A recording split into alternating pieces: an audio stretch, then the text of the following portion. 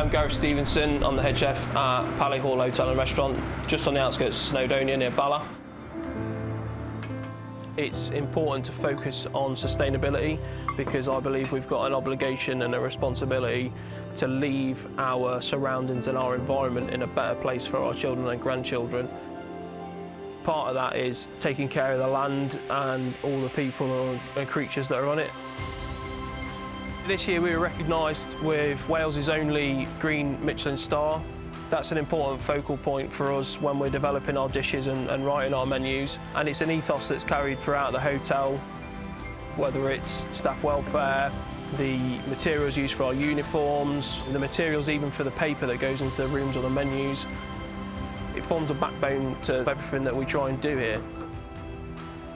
At Palé we've got an on-site hydroelectric generator that's powered the hotel's electric since the early 20th century. It's been updated by the current owners. We grow our own microherbs, salads and salad vegetables on site. All our chutneys and preserves are made with apples and pears from our orchard and that's fueled and fed by compost from our kitchen waste in the hotel kitchens.